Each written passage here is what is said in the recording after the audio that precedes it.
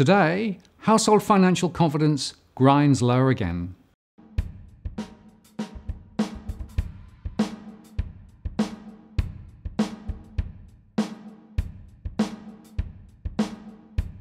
Hello again, I'm Martin North from Digital Finance Analytics. Welcome to our latest post covering finance and property news with a distinctively Australian flavour. Today we look at the July 2018 results from our Household Financial Confidence Index. By way of background, these results are derived from our household surveys averaged across Australia. We have 52,000 households in our sample at any one time.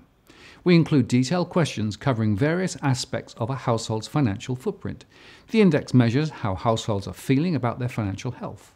To calculate the index, we ask questions which cover a number of different dimensions. We start by asking households how confident they are feeling about their job security, whether their real income has risen or fallen in the past year, their view on their costs of living over the same period, whether they have increased their loans and other outstanding debts, including credit cards, and whether they're saving more than last year.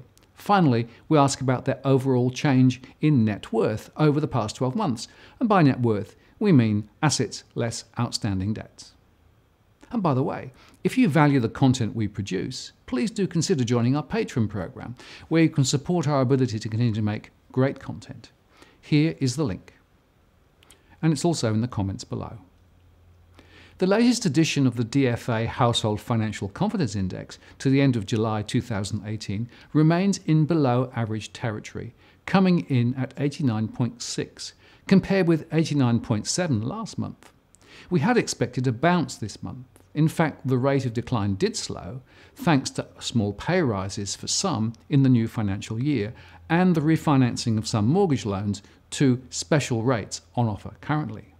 However, the index at this level is associated with households keeping their discretionary spending firmly under control, and the property grind is still impacting severely. Looking at the results by our property segmentation, owner occupied households remain overall around the neutral reading, while property investor confidence continues to fall into territory normally associated with those who are renting or living with family. This signals significant risks in the property investment sector ahead. Owner occupied property holders who have been able to refinance their lower loan to value loans have been able to shave their monthly repayments, while for some in rented accommodation, they have found it easier to find a rental at a lower price point. Investment property holders reported continued concern about servicing their loans and of potentially higher interest rates ahead. Those on interest only loans were particularly concerned about their next reset review, given the tighter underwriting standards now in play. The peak of the resets, however, is well more than a year away. The spread of scores across the states continues to bunch as New South Wales and Victorian households react to lower home prices. WA continues to show little real recovery in household finance despite the hype, although there was a small rise in Queensland thanks to recent pay lifts for some.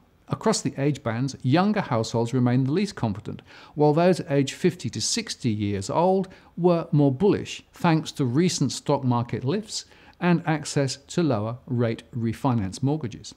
The intergenerational dynamic is in full force, with younger households not in the property market seemingly unable to access the market, despite the recent incentives of New South Wales and Victoria, and those with property and a mortgage are wrestling with repayments. Looking in more detail at the index components, job security improved a little this month, with 12.5% feeling more secure, up 0.67%, 27% less secure, down 0.92%, and those about the same at 58.8%, up 2%. However, we see many households in multiple part time jobs, and around 20% of households are actively seeking more work or more hours. There was a small rise in those reporting an income improvement, thanks to changes which kicked in from July. 2.3% said their income had improved, up 1.5% from last month, while 43.7% said they'd stayed the same. And there was a drop of 2.2% of those reporting a fall in income to 50.5%.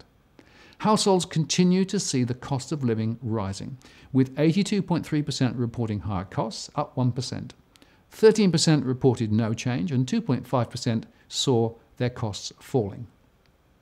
The usual suspects included power bills, childcare costs, the price of fuel plus healthcare costs, and the latest round of council rate demands, as well as school fees.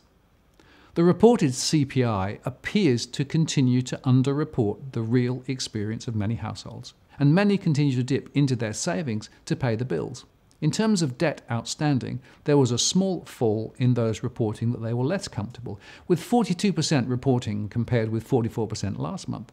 This is attributable to changes in interest rates and refinancing, especially for owner occupied households with lower loan to income ratios. Many with large mortgages also have other debts, including credit cards and personal loans, which also require servicing. Around 52% reported no change in their debt, up 3.5%. Property investors were more concerned overall. Looking at savings, those with stocks and shares have enjoyed significant gains, at least on paper, with recent dividends as well, so tend to be more confident. Some were able to benefit from higher savings rates on selected term deposits, although rates attached to on call accounts continue to languish as lenders manage their margins. Around a quarter of households have less than one month's spending in savings, so many are facing a hand to mouth situation with regard to their finances. And many of these households are in the younger age bands and have no savings to protect themselves should their personal situations change. We noted in the survey that a number of households were actively seeking alternative savings vehicles as property and bank deposits look less interesting. We have to see whether these alternatives are as attractive in terms of risk return as some are claiming. We have our doubts. But then, risk is relative. So, putting this all together, the proportion of households who reported that their net worth was now higher than a year ago continues to slide as property price falls continue to hit home and as savings are raided to maintain lifestyle. 42% said their net worth had improved, down 3.75% from last month. 25.6% said their net worth had fallen, up 2.5%, and 28% reported no real change. We had expected to see a small bounce in the index this month as some incomes were expected to rise in the new tax year and other changes were to take effect, but the impact of the fading property sector and cash flow constraints are likely to have dwarfed this impact.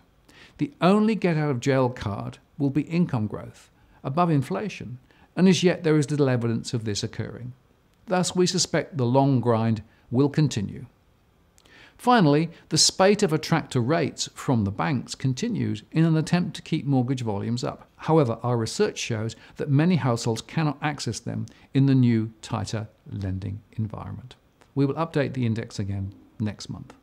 Before we go, a quick reminder mark your diary, the next DFA live stream event will be on Tuesday, the 21st of August at 8 pm Sydney. I will be providing more information shortly about the event, but it's already scheduled on the channel if you want to set a reminder and feel free to send questions in beforehand. If you value the content we produce, please do consider joining our Patreon program, where you can support our ability to continue to make great content. The link is in the comments below. As always, if you like what you've seen here today, please share and like the post and add a comment or question. I read them all. And if you want to join the growing band of subscribers who receive alerts when we release new posts, do subscribe now by hitting that subscribe bell.